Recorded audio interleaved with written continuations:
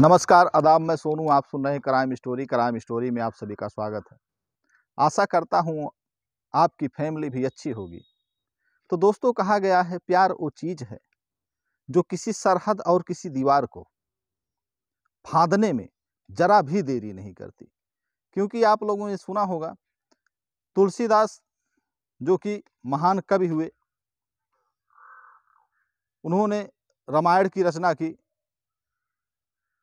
वो जब अपनी औरत से मिलने के लिए अपने ससुराल जाते हैं तो ससुराल से पहले एक नदी पड़ता है।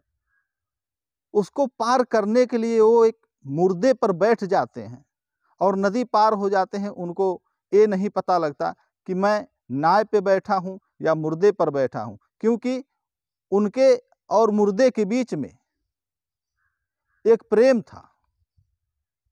जिस प्रेम की वजह से वो ये चीज़ समझ नहीं पाते हैं, उसके बाद जब ससुराल हो जाते हैं तो वहाँ पर जो दीवाल था, वहाँ से एक सर्प लटक रहा था, जिसको तुलसीदास देखते हैं, लेकिन वो ये समझते हैं कि उनकी वाइफ ने उनको ऊपर चढ़ने के लिए रस्सा डाल रखा है, लेकिन वो रस्सा नहीं, सर्प था, उसको पकड़कर वो छत पर चढ़ जाते हैं।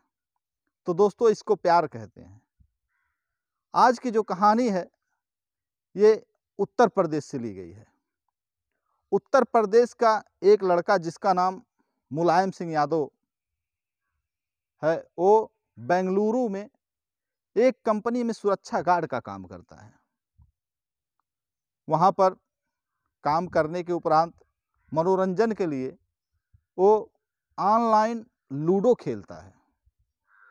ऑनलाइन लूडो में लोग यहाँ के हैं तो कहाँ के जुड़ जाएँगे इसका कोई पता नहीं।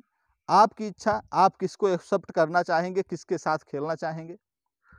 तो उसके साथ में एक पाकिस्तानी लड़की, जिसका नाम नाम इकरा जीवानी, जो कि 19 साल की थी, पाकिस्तान में एक हैदराबाद नाम की जगह है, वहाँ से उसके साथ जुड़ जाती है, गेम खेलती है।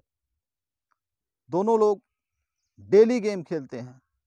कुछ दिन बाद दोनों लोग आपस में नंबर ले लेते हैं। पहले तो चैट से काम चलता है, उसके बाद बातें होने लगती दोनों के बीच में प्यार हो जाता है और प्यार परवान इस तरीके से चढ़ता है कि एक दिन मुलायम यादव जो था, वो लड़की से कहता है कि मेरी इच्छा आपसे मिलने की हो रही है।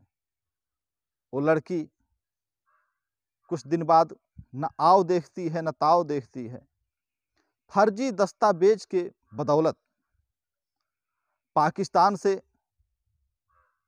नेपाल काठमांडू के रास्ते होते हुए उत्तर प्रदेश में आ जाती है। उत्तर प्रदेश से वो बेंगलुरु चली जाती है, जहाँ पर वो लड़का मुलायम सिंह यादव उससे मिलता है, जो कि 24 साल का है।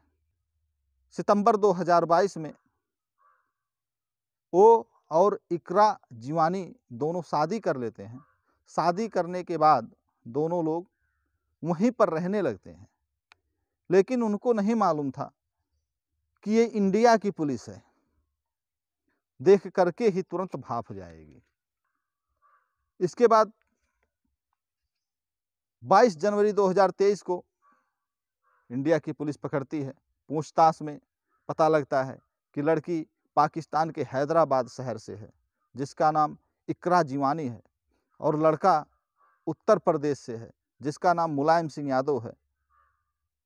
उस लड़की को भारत आने के लिए कूट रचित दस्तावेज़ के बदौलत भारत आने के नाते जेल भेज देती है, और जो लड़का है, मुलायम सिंह यादव, उसको किसी को छुपाने के जुर्म में उसको भी जेल भेज दिया जाता है। तो दोस्तों, आज की कहानी कैसी लगी आप लोगों को? अगर अच्छी लगी हो तो कमेंट में ज़रूर बताइएगा।